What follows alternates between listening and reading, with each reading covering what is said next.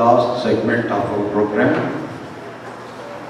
So now it's the time for the national anthem.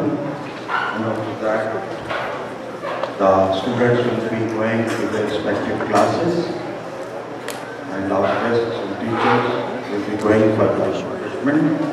So last segment that we have is the national anthem. This one, would you please come along with your friends?